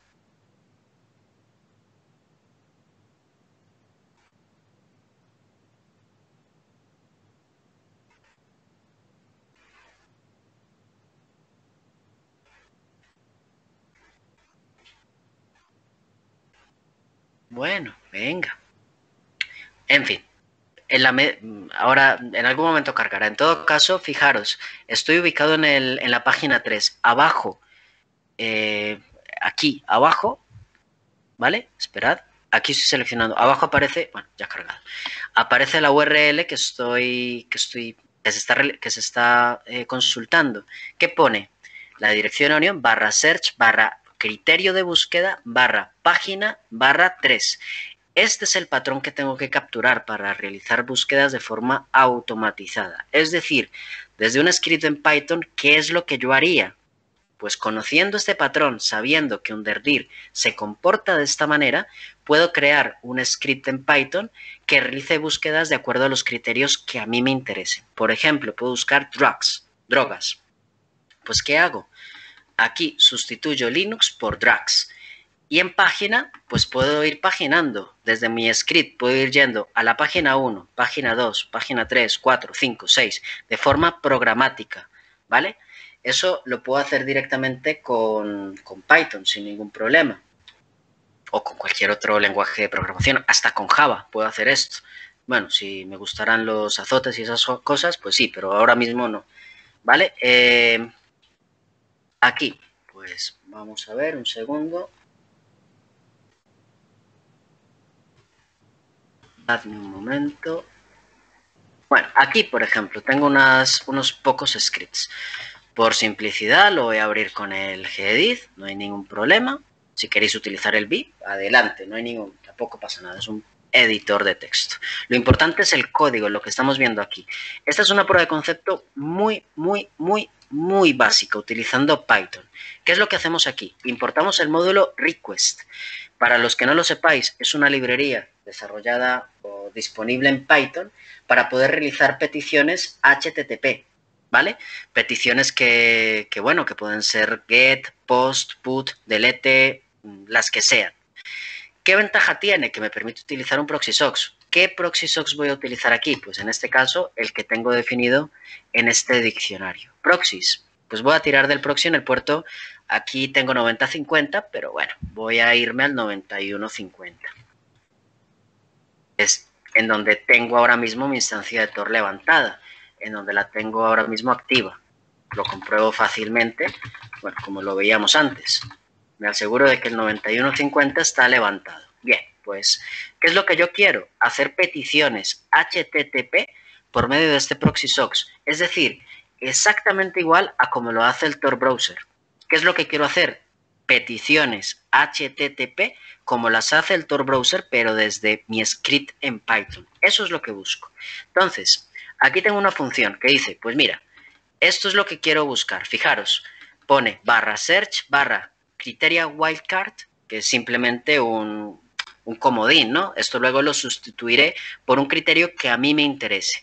Barra pg barra. Es decir, aquí donde pone Linux, en mi script, lo que voy a hacer es sustituirlo por una palabra reservada, que puede, bueno, por un criterio de búsqueda, que puede ser drugs, que puede, que puede ser CP o cualquier cosa que me interese. Típicamente contenidos que pueden ser ilegales o contenidos que pueden ser dañinos, perjudiciales. Eh, luego, barra PG, para especificar la página. Y finalmente, simplemente le concateno un numerito, 1, 2, 3, 4, 5, dependiendo del número de páginas que quiera visitar. Hasta aquí todo bien. Esto lo tendría que hacer de forma, de esta forma un poco eh, llamémosla primitiva, por, poner, por decirlo de alguna manera, porque es como funciona Underdir. Si utilizamos, por ejemplo, Dark Search, pues digamos que es bastante más potente porque tiene una API REST. Esa API yo la puedo consumir. Esa API yo la puedo utilizar para lanzarla desde un script en Python y no tengo que hacer estos juegos, ¿no? Estar sustituyendo cadenas e historias. Podría ser mucho más interesante, ¿vale? Vamos a ver. Aquí, ¿qué hacemos? Invocamos a searcher underdir y le mandamos una dirección onion, ¿vale? Luego, en esta dirección onion, lo que hacemos es un range, un page range. Vamos, voy a recorrer las cuatro primeras páginas de la búsqueda, lo que me devuelva. ¿Y qué hago? Para cada uno de los ítems que aparecen en esta lista voy a buscar child porn, esto no lo quiero buscar. Voy a buscar mejor passports. Y CP tampoco lo quiero buscar. Mejor. No sé qué es peor, pero bueno, en fin. Eh, Guns. Al menos te echas unas risas, con los otros no. Vale, y drugs. Voy a buscar estos tres, estos cuatro criterios y, las, y voy a recorrer cuatro páginas por criterio. ¿Qué hago? Pues nada, en donde pone la dirección, address, que es esta cadena de texto que me está llegando aquí, voy a sustituir este wildcard, donde pone criteria wildcard, por el criterio de búsqueda, que puede ser passports, guns o drugs. Es decir, aquí, donde pone Linux, ahora se va a sustituir por guns, eh, drugs o lo que sea, ¿vale? La barbaridad que tenga que buscar ahora mismo. Esto me va a dar criteria search, que va a tener esta misma cadena, con un wildcard, pues el que yo el que recorra en ese momento, que será Guns, Drugs o lo que sea, y luego le concateno la página. Le digo, pues mira, la página 1, 2, 3, 4, esto es un bucle, es un for, pues va a ir eh, recorriendo, ¿de acuerdo? Aquí, en este caso, este script es muy chorra, es muy sencillito y lo único que hace es pintar la dirección a buscar. Es decir, me va a aparecer underdir, onion, no sé qué, no sé cuántas, el criterio barra pg barra 1, 2, 3, 4 y hace la petición en este caso get, utilizando, esta es la parte interesante, utilizando el proxy socks de Tor, que lo he definido por aquí. ¿Vale? Simple y llanamente eso. Pintamos la respuesta para ver si ha ido bien. Esto nos permite identificar si el servicio que estoy consultando está activo o no lo está. Y punto pelota. Esta sería una primera, es un primer acercamiento, un script muy, muy, muy sencillo. Entonces, lo primero, me voy a ese directorio.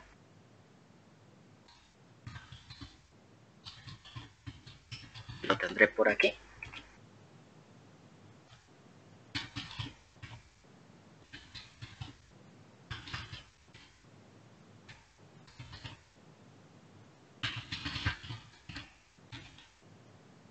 Y pruebas, tests en este caso. Aquí están estos tres scripts. Python 3, le digo la POC 1, por ejemplo. y ala, a correr. Entonces aquí está primero buscando passports, página 1. Esto ya hemos visto que tarda un poquito, ¿vale? Bueno, en este caso no ha tardado tanto. Me da un response, 200, 200. Vamos, que esto se está buscando correctamente. Ha buscado passports, guns y drugs, que son los tres criterios de búsqueda que, he especificado. La página 1. Luego va para la página 2, la página 3 y la página 4. Está visitando cada una de estas páginas con el criterio, eh, con los tres criterios que hemos puesto. Y en todos los casos me ha devuelto un 200, que en el mundo web, como seguramente ya sabéis, significa que la respuesta es correcta, es un OK, que todo ha ido bien. ¿Vale? Eh, bueno, voy a un segundo, que a ver si tenéis preguntas que desde que he empezado no he mirado el chat. A ver, dadme un momento. Hostia. Pregunta, he visto que un moderador ha eliminado mi mensaje porque no doy... ¿Qué?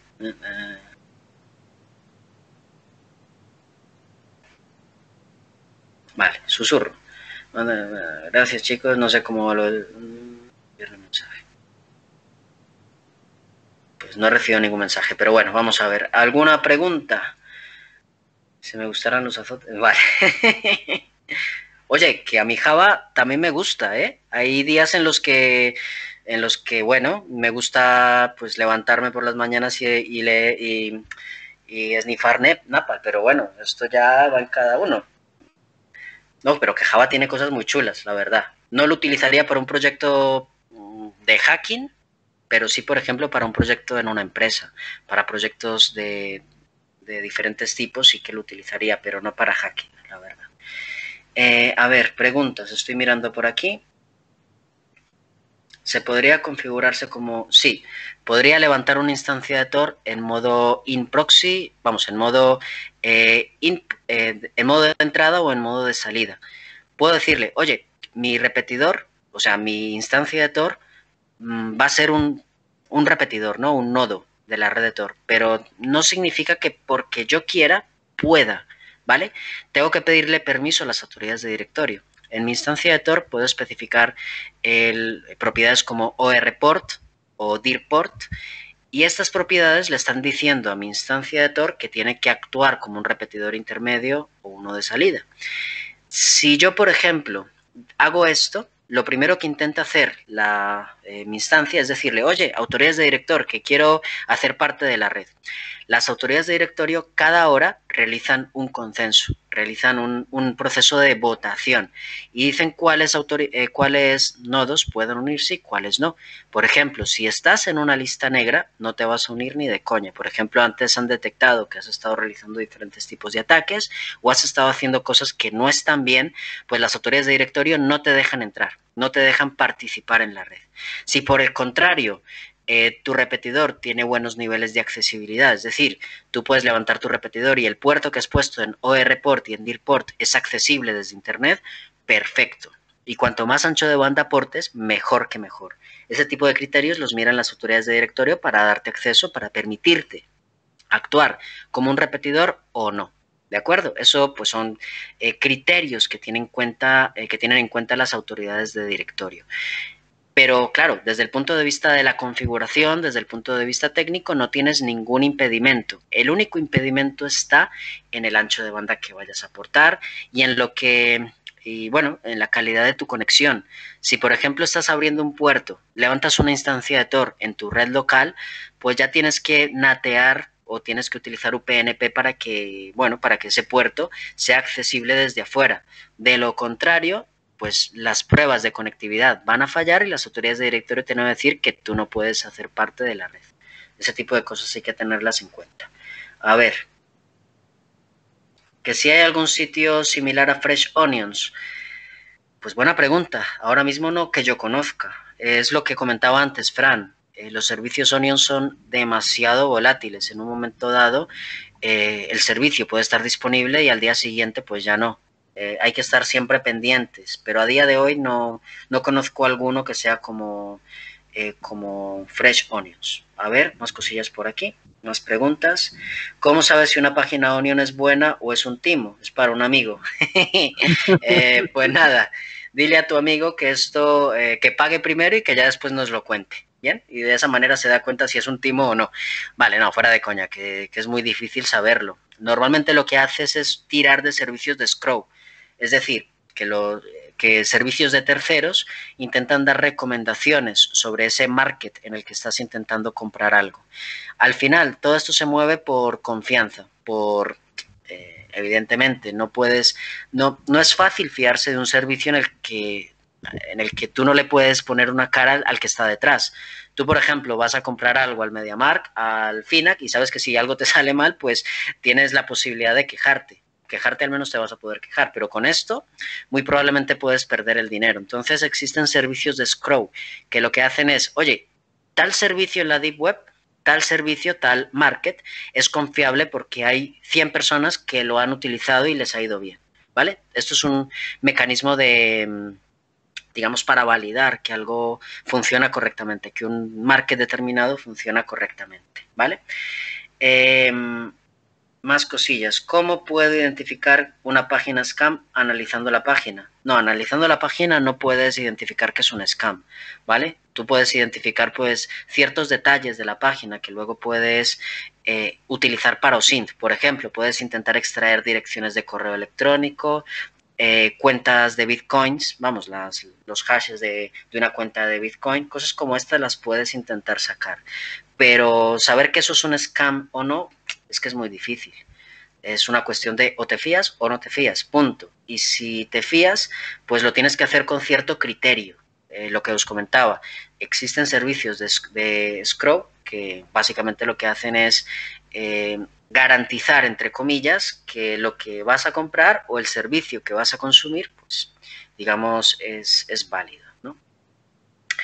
Eh, bueno, en principio, también es verdad que cuando hablamos de markets en la web, en la web profunda, en la darknet de Tor, casi todos son de cosas que no comprarías normalmente en la web clara. Eso está, eh, eso, es, eso es evidente. Si tú puedes comprar algo en la web clara, pues lo haces en este tipo de mercados porque sabes que hay cierta confianza, porque le puedes poner la cara al vendedor en un servicio que está en la darknet, tú no sabes quién es el que te está vendiendo eso y muy probablemente no te interesa saberlo tampoco, ni tampoco que esa persona o ese eh, o esa empresa, esa organización sepa quién eres tú. Probablemente por salud y esas cosas, no te interesa tampoco que sepan quién eres. Entonces, claro, eh, depende de lo que estés tramando, Moreno, porque, claro, a ver qué, estás haciendo, ¿vale? ¿Y dónde podemos, a ver, qué más cosillas? ¿En qué escenario se debería combinar, en tu opinión, el uso de VPN y de Tor? Pues, a ver, sobre todo cuando estás haciendo campañas de red teaming. En estos casos concretos, yo sí que recomendaría utilizar una VPN y Tor porque estás garantizando el anonimato y la privacidad. Eh, estás implementando una doble capa, un doble factor de, privacidad y de anonimato. Especialmente si compras o si adquieres un servicio de VPN, eh, bueno, un servicio de VPN anónimo y que realmente sea privado.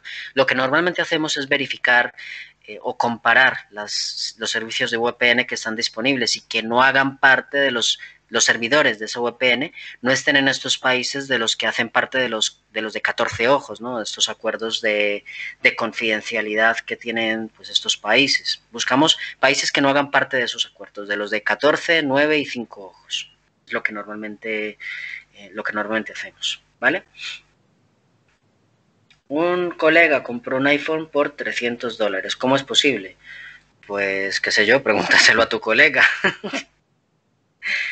Eh, ¿Cuáles son los mejores mecanismos para encontrar nuevos onions? Sí, eh, buscar mucho en los servicios que hemos indicado Fran y yo. Estar buscando constantemente en buscadores, en searchers, en, en directorios onion, ¿vale? Ese tipo de cosas, pues digamos que son las que normalmente solemos utilizar. Es lo que buscamos. Estar constantemente analizando la darknet es un trabajo complejo. Vamos, es un trabajo que a veces es, agotador porque cambia bastante, con bastante frecuencia. Pero bueno, al final encuentras servicios que suelen ser bastante estables, como los que comentábamos antes con Fran, y son de los que vas tirando eh, de forma habitual, de forma continua, ¿vale? Bien, más preguntas. ¿Es necesaria alguna medida adicional de seguridad para ingresar a una página Onion? Eh, pues en principio, si estás utilizando, yo recomiendo utilizar el Tor Browser. Principalmente porque, a ver, os lo enseño ahora en un momento. Tor Browser tiene una serie, es un navegador Firefox pero cuenta con una serie de niveles de seguridad que pueden venir bien. Aquí el escudo que aparece aquí pone nivel de seguridad estándar, pero puedes personalizar esto. Bueno, espérate, está en preferencias. A ver, preferencias, seguridad y privacidad.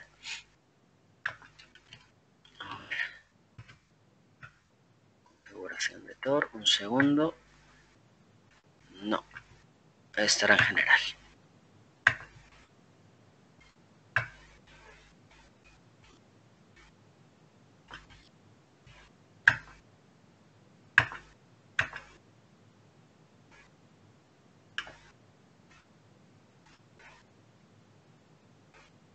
Aquí está, seguridad. Esto es algo que, por ejemplo, no tiene navegadores como Firefox. Aquí puedes establecer el nivel de seguridad y cuanto más seguro lo pongas, más cosas se van a bloquear. Por ejemplo, lo pones en el nivel estándar y, bueno, las características más habituales vas a poderlas consultar. Y esto ya de por sí, solo bloquea muchos ataques del tipo client-side.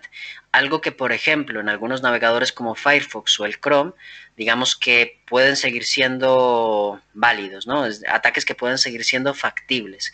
En el caso de un Tor browser pueden ser más difíciles de llevar a cabo en el nivel estándar. Luego, si ponemos el nivel más seguro, JavaScript está deshabilitado en sitios que no utilicen HTTPS. Es decir, sitios que utilicen HTTP no tienen JavaScript, ¿vale? Eh, por ejemplo, el HTML5 media y otras características también están deshabilitadas. Y en el más seguro de todos, volvemos a la década de los 90. Aquí, eh, nada, no tienes absolutamente ninguna característica, mm, digamos, robusta en el lado del cliente. Es HTML puro y duro. Entonces, en la medida en la que tú vas cambiando los niveles de seguridad, eh, la superficie de ataque va a ser mucho más reducida y el atacante lo va a tener mucho más jodido de meter, por ejemplo, eh, un waterhole en, en, una página Onion o, una, o un script JavaScript malicioso en una página Onion. Lo va a tener más complicado de que eso se ejecute y tenga éxito en tu navegador web. Por ese motivo, yo siempre recomendaría o siempre recomiendo utilizar el Tor Browser. Es una de las mejores, eh, de las mejores alternativas, ¿vale? Más cosillas. A ver, una pregunta. Yo no he podido acceder a algunas páginas porque tienen, ¿eh? porque tienen a los nodos de Tor en una blacklist. Pero he usado Bridge y me ha funcionado, ¿sí? Sin embargo, al ver el circuito de conexión, el Bridge era WART. ¿Cómo es posible esto? Vale, porque el WART es realmente lo que utilizas en un circuito, en un, vamos, en un, cuando le dices, mira, quiero obtener, cuando vas a Tor Project y vas al proyecto bridges.torproject.org. Obtienes un conjunto de bridges, ¿no? De puentes. Esos bridges realmente lo que hacen es actuar como wards, ¿vale? Tú lo que le estás diciendo a tu navegador web, a tu Tor browser, a tu instancia de Tor es, oye, mira, de estos tres o cuatro o dos eh, bridges, pilla uno y ese va a ser el ward, va a ser el nodo introductorio. De hecho, ¿qué es lo que tú necesitas saltarte? Es ese primer paso, el ISP o el sitio que te esté bloqueando la salida. Eso es lo primero que tienes que saltarte, ¿vale? Y ya después, a partir de ahí, eh, el circuito puede, puede tirar de direcciones IP públicas, vamos, direcciones IP que están en, las, en los ficheritos de consenso o lo que te emiten las autoridades de directorio, ¿vale? Bien, más preguntas. ¿Qué hay de cierto respecto a las vulnerabilidades que presenta Tails? ¿Recomiendas usar mejor Kodachi? A ver, yo recomiendo, de hecho, yo no utilizo ninguna de estas plataformas. Yo prefiero configurar la, instancia de Tor yo mismo. Saber cómo funciona y configurarla manualmente. ¿Por qué? Porque cuando tratas con eh, soluciones que ya lo tienen todo montado, entre comillas, vienen con configuraciones por defecto, que luego a saber qué hacen. Incluso me he encontrado con casos de, de Unix que vale, que está muy chulo, que está muy bien para el aislamiento y demás, pero luego eh, me he encontrado con casos en los que la instancia de Tor está desactualizada. Me he encontrado casos en los que no puedo levantar servicios Onion de una forma tan cómoda o tan eh, o tan estable como estoy acostumbrado a hacerlo. Por ese motivo, yo lo que hago es una opinión personal y es algo que yo, que yo tengo como, como práctica, es conocer muy bien las directivas que puedo indicar en el Tor RC y configurarlo de la mejor forma que puedo. ¿vale? Y no depender de lo que me viene por parte de un tercero. Y esto no solamente lo aplico en anonimato, lo aplico también en hacking.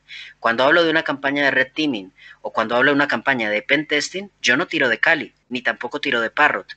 Utilizo las herramientas desde el GitHub directamente. Creo mi propio entorno, lo configuro de la mejor forma que puedo. Y eso os garantizo que es mucho más estable que tirar de lo que viene en Kali. No sé si habéis tenido, por ejemplo, la experiencia con Kali o con, o con Parrot, que hay herramientas que deberían de funcionar y por lo que sea no funcionan. ¿Por qué? Porque vienen 20.000 herramientas en la distribución y claro, es normal que alguna se pueda dar de hostias con la otra. Esto es normal. Y normalmente, ¿yo qué necesito en un entorno de pentesting o de hacking? Pues voy a necesitar, ¿cuántas? ¿15? ¿20 herramientas? Pues esas son las que necesito y las que configuro en un momento determinado. Lo puedo hacer con contenedores en Docker o lo puedo hacer con máquinas virtuales. Y punto pelota. Para mí es mucho más cómodo y sencillo hacer esto así. Y al final, a la larga, ahorro tiempo. Y lo hago tanto para hacking, para temas de pentesting o red teaming, como para temas de anonimato. A ver, más cosillas, más preguntas.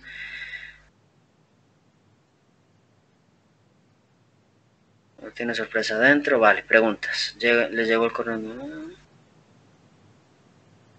Tenía COVID. Vale. Yo me esperaba más un virus. No, no, no. ¿Tienes tutoriales o cursos de la red de Tor? A ver, la, la mejor alternativa para documentarse sobre Tor es la documentación oficial. No vais a encontrar nada más completo. torproject.org. Os dirigís a la documentación oficial y hay de todo. De hecho, es la fuente de la que yo he bebido, entre comillas, de, en todos estos años.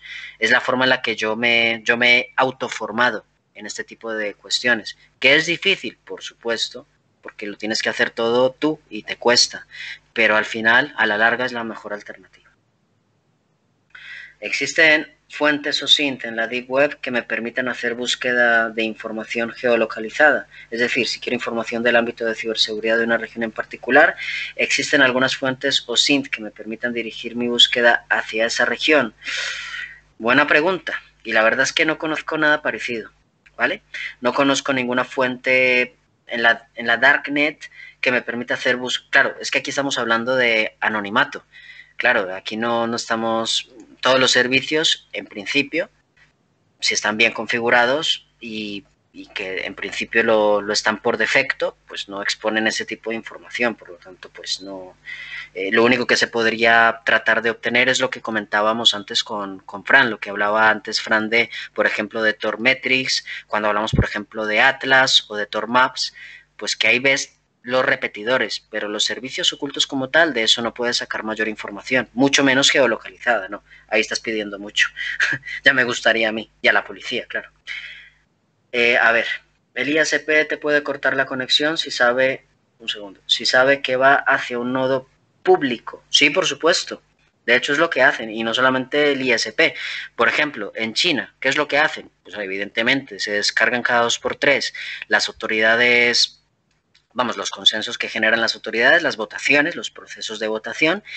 Ese listado de direcciones IP son públicos y ¿qué hacen ellos? Pues banean esas conexiones. Cualquier conexión desde dentro del país hacia cualquiera de esas IPs es directamente bloqueada, baneada. Pues claro que se puede hacer. Por ese motivo tenemos los bridges. Más cosillas. ¿Hay algo como Wixlet, pero en Tor? No que yo conozca. ¿Sabes dónde puedo leer más al respecto? A ver, se puede a través de otro acceder a... Marianas Web. vale. Siguiente pregunta. ¿En Darknet no existen docs? No, no existen. ¿Vale? ¿Cómo puedo saber si hay alguna información pública en la Dark Web? Pues lo que hemos visto antes, información pública, pues depende del tipo de búsqueda que quieras hacer. Al final esto, os voy a enseñar un proyecto antes de, terminar, que se llama, a ver si lo tengo por aquí, sí, aquí está, se llama Torbot. Este proyecto no lo conocía, me lo comentó el otro día Fran, y funciona exactamente igual a lo que os iba a enseñar en el taller. Lo que pasa es que al final no os he enseñado todos los scripts, solamente os he enseñado uno, pero funciona exactamente igual a, las pruebas de concepto que os iba a enseñar. ¿Qué hace esto? Es Open Source Intelligence for Dark Web. Es un proyecto relativamente reciente, ¿vale? Es decir, lleva bastantes años, pero relativamente reciente en el sentido de que se le está metiendo bastante más caña en, el último, en, los últimos meses, en el último año. Y nada, hace exactamente lo mismo que yo estoy haciendo con Python. Es que es lo mismo, es clavado. De hecho, a ver. La POC. Uy. hace esto? Es justamente la misma historia. Intenta utilizar Beautiful Soup para extraer los enlaces y hacer un proceso de crawling es la misma historia. Crea una cola y va analizando en un nivel de profundidad determinado. Y eso es justamente lo que está haciendo esta herramienta, el Torboot. Así que, bueno, si no queréis picarlo, pues podéis tirar de, de Torboot. Tiene una serie de dependencias que las tenéis que instalar, evidentemente. Lo podéis hacer directamente con el pip3 para Python. Y nada, esto pues directamente te realiza un proceso de scrapping y te va descargando información que pueda ser interesante, que pueda ser útil. Es un script que funciona bastante bien, lo estuve probando creo que fue hace un par de días o ayer, ya no me acuerdo, la noción del tiempo a veces se pierde, y funciona bien, vamos, que te genere, hace el proceso de scrapping, puedes capturar el tráfico que está, eh, que está haciendo esto con un TCP dump y ves perfectamente que las peticiones se hacen bien. Así que os recomiendo que le echéis un vistazo. También lo tenéis para Docker. Tenéis una imagen en Docker Hub, simplemente eh, la descargáis o la podéis construir directamente desde el GitHub y generar un contenedor y punto pelota. Vamos, os recomiendo que le echéis un vistazo si, queréis. Y bueno, a ver, últimas preguntas. A ver, eh, una respuesta de nada. Puedes encontrar dos libros muy buenos. Vale, muy bien. Sí, que si queréis podéis comprar los libros de en la editorial Xword, al menos el de Tor. Eh, Tor Browser como navegador normal para lo que has comentado de los niveles de seguridad. Sí, sí, sí. De hecho, para algunas cosas lo utilizo. Lo que pasa es que también es una cuestión de costumbre, ¿no? A veces utilizas el Firefox, el Chrome y te acostumbras a utilizar eso. Pero lo suelo utilizar con bastante frecuencia, el Tor Browser. Lo suelo utilizar mucho. No en este ordenador, en otro, que es donde, donde hago pues cosas que son más personales. Y, pues eso, sí, lo, lo utilizo bastante. Más preguntas. A ver. Llevo cuatro años o más en la Darknet y he ayudado a cerrar varias páginas de CP. Enhorabuena. Vale, eh, ¿qué opinas de todo esto de las Marianas Web? No, no tengo opinión, me parece que es una chorrada, ¿vale? De este tema conozco bastante, vale, me alegra. Eh, ¿Más preguntas? ¿No? ¿Sí? ¿Por qué los sitios de Marianas Web no duran mucho tiempo? Pero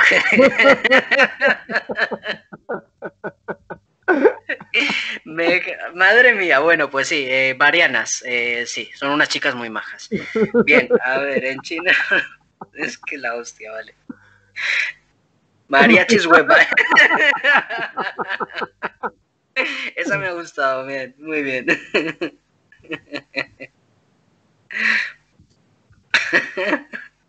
¿Qué opinas de las vulnerabilidades de TukTukCo? Pues que, que son muy guapas, muy chulas. ¿Vale? Eh,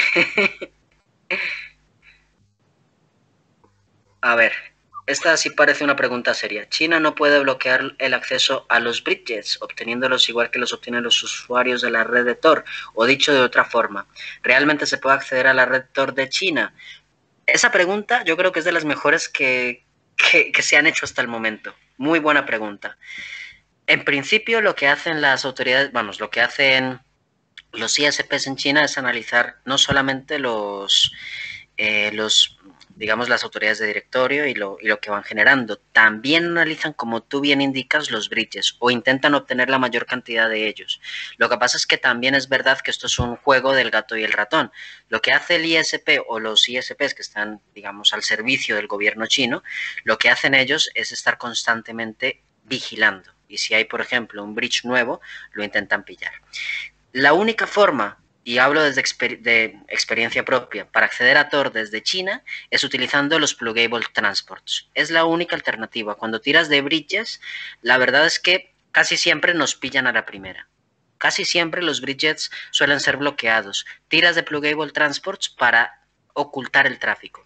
Luego, si queréis, podéis buscar un poquito más sobre Plugable Transports. Es más, os lo voy a escribir aquí por si luego os resulta interesante o tenéis curiosidad.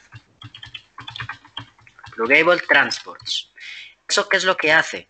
Enmascara las peticiones, eh, las peticiones que haces directamente contra un circuito de Tor. Es decir, tú te vas a conectar contra, un, contra una dirección IP, contra un bridge. Si este bridge, normalmente son bridges que, que, bueno, que no se han conseguido detectar por parte del ISP o, de, o del mecanismo de censura de turno. ¿Qué es lo que hacen entonces? Aplican técnicas de DPI, Deep Packet Inspection. Intentan inspeccionar los paquetes. Si, si determinan que se utiliza el protocolo de Tor, pues evidentemente filtran capan ese tráfico. Y esto es lo que suele ocurrir con más frecuencia en este tipo de países, no solamente en China, sino en todo el sudeste asiático. Entonces, ¿qué es lo que hacemos? Utilizamos Plugable Transports, que lo que hacen es enmascarar el tráfico. Es una tecnología muy interesante, porque las peticiones salen desde un server Plugable, ¿vale? que lo que hace es enmascararlas. Parece como si fuese una petición a un servicio de Paitu, por ejemplo, o a un servicio de Amazon, por poner un ejemplo, ¿vale? Que puede ser otra cosa. Y cuando se aplican por parte del ISP este tipo de técnicas de Deep Packet Inspection, se las come con patatas porque piensa que es una petición legítima hacia un sitio que, bueno, que en principio pues no tiene ningún tipo de, ningún tipo de problema, ¿vale? Y a continuación, pues cuando llega a ese correspondiente destino, cuando consigue saltar esas, restricciones, pues ya se establece todo el circuito como se hace normalmente, ¿vale? Y de vuelta es lo mismo, se enmascara una respuesta parecida a lo que contestaría un Paitu, a lo que contestaría, eh, por ejemplo, una consulta contra un servicio de Azure o similar. Eso es lo que se suele hacer en China para poder evadir estos mecanismos de censura. Sin embargo, ya os digo que esto es el juego del gato y el ratón. A veces no es tan sencillo. Sin embargo, también es verdad que existen VPNs que funcionan bastante bien allí. Por lo tanto, puedes utilizar Tor, pegarte con ello, pegarte con Plugable Transports o utilizar VPNs que, bueno, que en principio también te tendrás que fiar de lo que hay ahí. Una alternativa que yo, que yo he utilizado allí que funciona bastante bien es tener tu propio VPS. Configuras tu VPS, o sea, adquieres un VPS con una dirección IP pública y en ella configuras un servidor VPN. Con OpenVPN, por ejemplo, es tu propia VPN. Esas conexiones van a ser por UDP, bueno, va a ser una conexión cifrada contra una IP que en principio no tiene por qué, no tiene por qué desconfiar el ISP. Y luego desde esa VPN, desde, en cuanto llega al otro destino, pues hacer las conexiones a donde, a donde sea menester, a donde quieras, ¿vale? Y bueno, a ver, más cosillas. Y muy buena pregunta, ¿eh? Enhorabuena. Se nota que alguien sí que... a ver. Coloquen el iceberg. Bueno, sí, sí. Eh, pero Tor está bloqueado por su eh, estructura definida, pero desde China se puede navegar libremente por... Eh, sí, se puede más o menos por la estructura que tiene I2P y Freenet. Lo que pasa es que si es lento estando aquí, en China ya no os podéis ni imaginar, de verdad. O sea, en el caso de I2P y de Freenet, allí yo lo veo prácticamente como algo inviable. A ver, más cosillas. Siempre se puede usar un VPN un proxy y te ahorras todo el tema del ISP. Efectivamente, justo lo que tenía, lo que estaba comentando antes. De hecho, es una alternativa que me funciona bastante bien cuando voy allí solo ir. Y siguiendo con el tema de China, salir a través de VPN, previo pago, claro. Eh, sí, lo que decía, es mejor si te configuras tú tu propia VPN con un VPS. Vamos, con un servidor privado tuyo, con una IP pública y ese servidor lo configuras como quieres y montas ahí tu VPN. Es la alternativa que mejor, eh, vamos, que en mi opinión mejor funciona. Como dices tú, considerar que un VPN solo entrega anonimato, pero no seguridad. Eso es, efectivamente. ¿Un ataque de DOS puede afectar todo un cloud? Sí, en principio sí. De hecho, ya han habido ataques contra las autoridades de directorio en el pasado. Algunos, de hecho, de hecho han, han tenido un efecto bastante, bastante jodido en la red general. Creo que fue hace unos cuatro o cinco años que tiraron como eh, de las 10 autoridades de directorio que hay, creo que tiraron 5 o 6, hace unos 4 o 5 años, me suena, creo recordar. ¿Qué VPS recomiendas? Pues, a ver, hay uno en la, bueno, en la Darknet que en otra ocasión os comentaré, ¿vale? Pero podéis tirar, por ejemplo, de OVH o podéis tirar de Digital Ocean o de Cloudinio también tiene, una, que tiene IPs españolas y que, bueno, está bastante bien. Si queréis podéis tirar de cualquiera de sus servicios y funcionan bien en China, ¿vale? Pero hay que tener en cuenta que dejas un rastro al conectarte a la VPN, no es siempre anónimo. Sí, sí, por supuesto. A ver, dejas el rastro de que te estás conectando a una VPN, eso está claro. Hay una dirección IP y un puerto al que te estás conectando. Eso, desde luego. Eh, lo que pasa es que luego, lo que pasa después, eso mm, sale desde el servidor de, desde el que te estás conectando y digamos que en ese sentido, pues si lo tienes bien configurado, no debería de haber mayor problema. Sí, eso es. Sí, depende de cómo lo configures. Va cifrado, efectivamente. Bien, eh, si no tenéis más preguntas, no sé si tenéis de preguntas de mariachis web, de eso no, ni idea, eso ya de, aquí, aquí no respondemos preguntas de mariachis y ya está. No sé si tenéis alguna otra pregunta, comentario, sugerencia, ruego, lamento.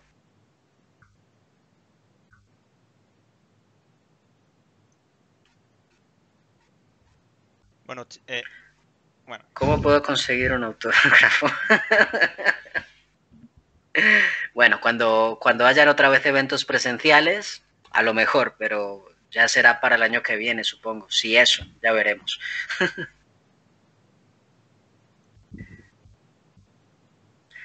vale, muy bien. Pues por mi parte esto sería todo. Pues muchas gracias, eh, chicos. Eh, no sé si os queréis despedir antes de que os despida yo. Sí. Sí, sí, bueno, por mi parte, pues nada, nuevamente daros las gracias por la invitación. Mañana repito, por cierto, mañana estoy con otro, con otra charla, si la memoria no me falla, sí. Mañana, mañana. Sí, sí, es, es mañana, ¿no? Sí, vale. vale, porque luego también tengo la de la de 8.8, vale, sí. Y nada, agradeceros por la, por la invitación. Está muy chulo el evento. Me gusta la dinámica que se, que se ve en el chat, mucha participación y esto. Y bueno, pues espero después de mañana volver a repetir. Estáis ambos invitados. No sé si tienes unas palabras, eh, Fran. Sí, por, mi parte, pues nada, agradeceros, igual que he dicho al principio, a la organización, a ti, Iván. Y bueno, por supuesto, para mí ha sido un lujazo compartir este, esta hora y media con el que ha sido para mí el mayor referente en este tema, del cual, como he dicho, he aprendido muchísimo. Así que, Dani, muchísimas gracias, tío. Nada, gracias a ti también, hombre, que aprendemos el uno del otro. Es así, tío. Pues, pues muchas gracias a ambos por aceptar en primer lugar la, la invitación y luego eh, el envío de vuestro paper. Eh, pues eh, esto es todo. Muchas gracias a, mm. ambos. Eh, ha sido un auténtico placer disfrutar de un taller técnico como los que me gustan a mí. Y, nada, que mucha suerte mañana, Dani, para, la ponencia. Y, y al resto, bueno, nos vemos mañana. Estaré también en este taller. tendremos tres sesiones, comenzamos a las 4 y espero que haya sido de vuestro interés pues todas, todas las ponencias y estos dos talleres a lo largo de esta primera jornada. Miraré, sé que muchos de vosotros habéis tenido, eso es, eh, mañana voy a bajar a 720, eh, ¿vale? Para que así no tengáis ningún tipo de problema. Que ha sido eso, que está emitiendo en demasiada calidad de, imagen y, y, sonido. Que lo dicho, mañana, mañana más y, y no sé si se me, sí mejor, porque han dejado tanto Víctor como, como Fran y Dani han dejado el listo muy alto. Así que eh, descansad y nos vemos mañana.